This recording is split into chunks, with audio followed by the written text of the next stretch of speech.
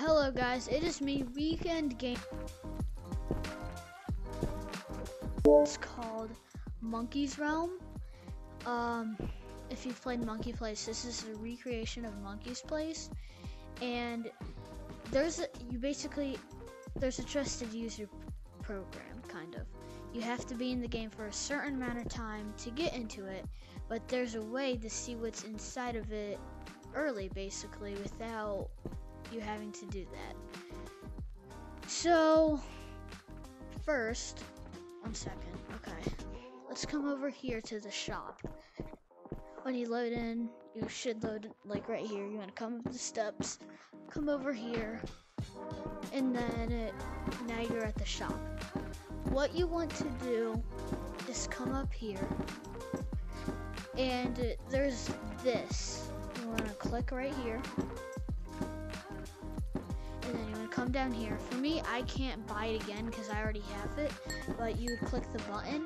If it doesn't disappear when you click the button, then restart your game and it should work again. So, yeah, that's, you need to get that, and then that's basically the only thing that you need. You want to come over here, the mirror's right here, you want to come over here.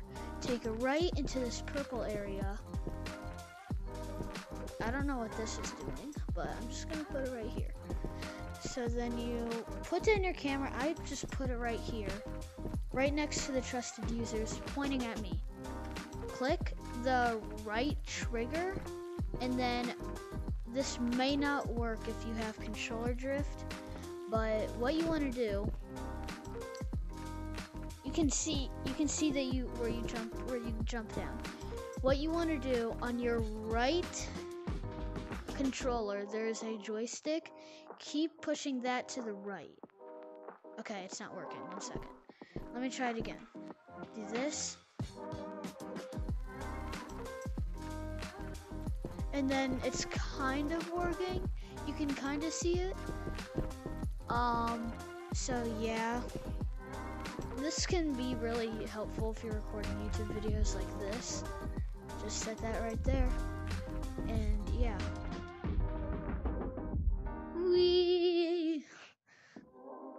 It's kind of hard to control, but I mean, you can get used to it. And then, yeah, you can see it right there.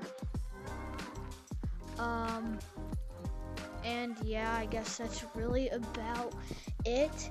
Make sure to uh, subscribe.